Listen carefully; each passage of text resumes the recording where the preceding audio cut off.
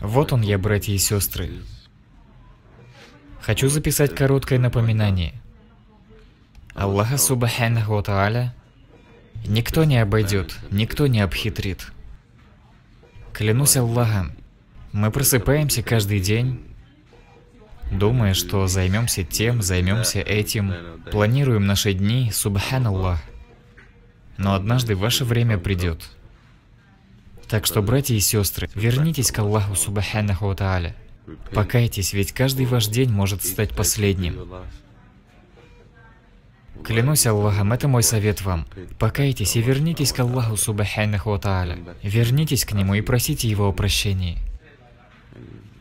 Субханаллах, сегодня мы готовим сосиски, и вот мы уже на больничной койке, Субханаллах. Пожалуйста, делайте дуа за ваших братьев и сестер по всему миру, которые страдают, как вы знаете. Да вознаградит вас всех Аллах. Ассаляму алейкум ва рахматуллах.